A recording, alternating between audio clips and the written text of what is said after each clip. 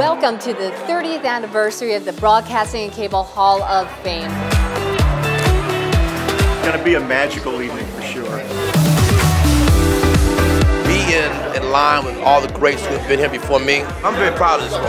Very proud. You don't really think of yourself as being the one that comes up here, so it's, it's pretty special. Congratulations to all my fellow honorees tonight, and thank you, BNC, for this for this true honor. I'm really, really thankful. It's a really great honor, and I'm really happy to be here. Broadcasting the Cable Hall of Fame is, you know, I don't think you can do really any better than that in our industry. Not bad, huh, Mom? I get to sit with the incomparable Savannah Guthrie. It's just incredibly inspiring to be in this environment right now. This is such a great industry, great business, and great for the 30th anniversary. I continue to be inspired by and proud to be a part of the talented community that brings the world so much compelling content.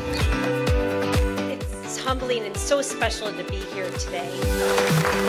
This is a funny business. It thrills you and it challenges you, and sometimes it breaks your confidence. I wouldn't trade it for anything.